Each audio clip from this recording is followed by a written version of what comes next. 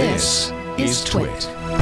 This app is called My Talking Pet. My Talking Pet, and um, it was free the other day when I got it. oh, it. is it? Does it cost now? Oh yeah, yeah. It's three ninety nine. Oh, is we it one are or three influencers. ninety nine? Three ninety nine. $3.99. Looks like. Because Oh, it's so my goodness. fantastic. Um, and let's. And I sure do okay, hold I- on. Let me rewind it to the beginning. This is your dog, and This is my dog Henry. He is Mm-hmm. a full bred Chihuahua. Oh, he's so sweet. Let's see what he has to say.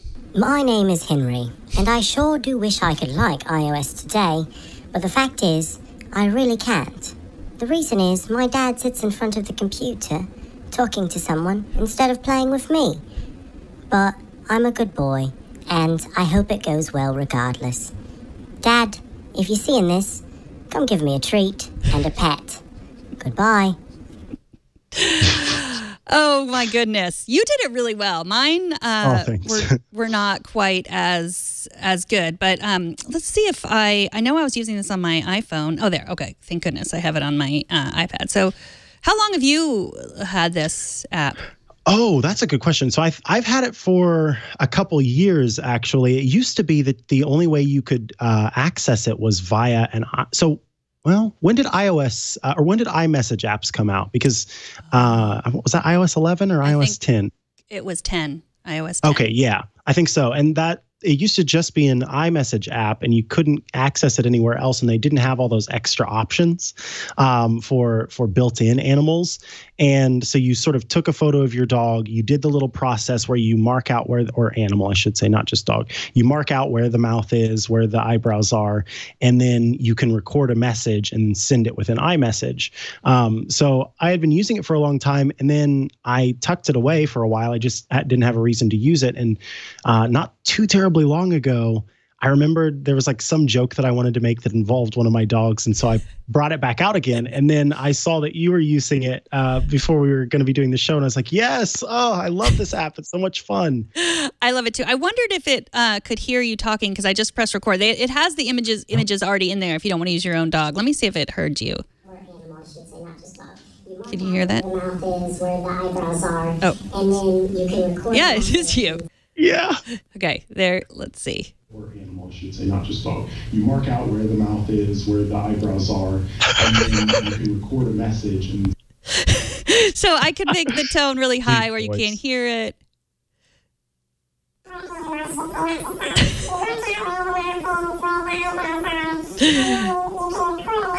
Um, or really low.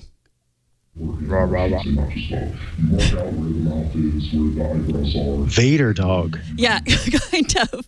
And I could add a mustache to the dog if I wanted to. You can add like head heads. What what am I trying to say? Hats. I don't know. why I Headgear, couldn't yeah. that word. Headgear. Mhm. Yeah.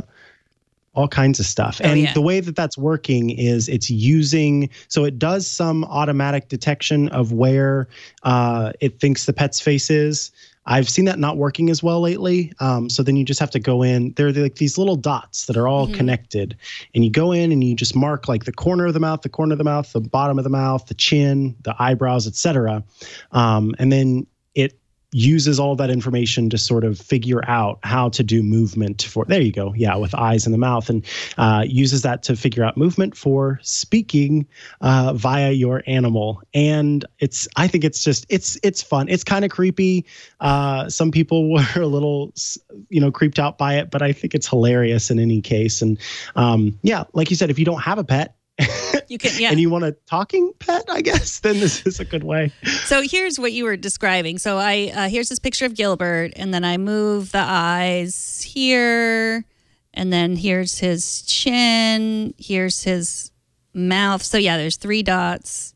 Oh goodness, yeah, it's not easy, but I think that I've gotten his mouth there, and then those need to go on either side of his head yeah.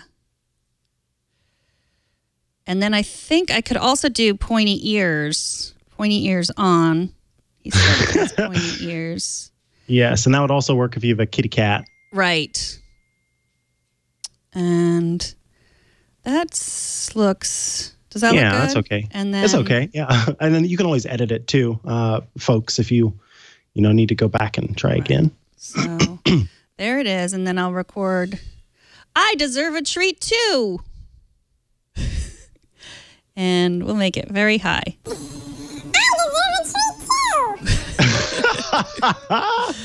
or lower. I deserve a treat too. I oh, that's the does- perfect voice. Yeah, because I yours think- yours is already high. So Yeah. I deserve a treat too. I love that voice so much. So I could edit it, um, or I could give him some sunglasses. I deserve a treat too. there. Those are, he's very smart. So I wish. Oh, so I guess yeah, you, can't- should be able to move it afterward, but it's Yeah. using your your placement um, with the little dots, unfortunately. but yeah, I Oh, think you should okay. be able to edit it afterward a little bit. and then I can uh, save it, and um, I can share it through iMessage or save it, or I could send it to John's Mac Pro, which I'm gonna. Uh, I and I think I'll send it to Anthony too. Why not? Hopefully their airdrop is on.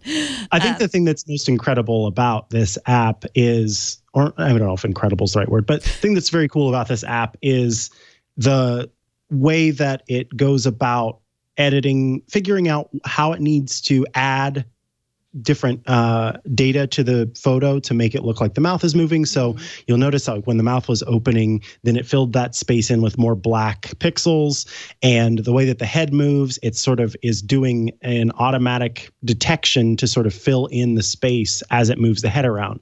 That's no small thing. Like that's a that's that's a complicated thing. Anybody who's ever been in Photoshop and done like a, a content aware fill or content aware scale knows that that's kind of a difficult thing to do.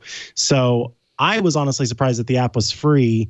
Now that Megan and I have been talking about it on Twitter, that's why it costs money now. Exactly. Of course. Well, but I It's heard worth it. about it because um, I follow a Twitter account called App Sliced, and they, I think it was Sliced, and they said it was free just for the day, and so I was oh, so maybe Ah. it's been maybe it's cost recently. yeah. Okay, interesting. Um, but Yasmin, we were discussing this yesterday, and I just wanted to let you know because she works at Google, um, and you sent her the iOS link, but that it also yeah, that was nice of you. You sent the Android link.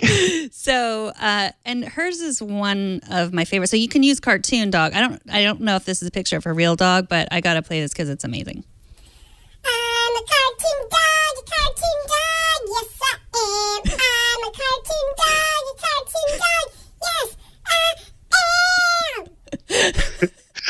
A feeling that her daughter uh, drew that because Okay. that is her dog. Okay. Uh, and I think that that's either her or her daughter right next to the dog. That's adorable. Um, Uh, it really is.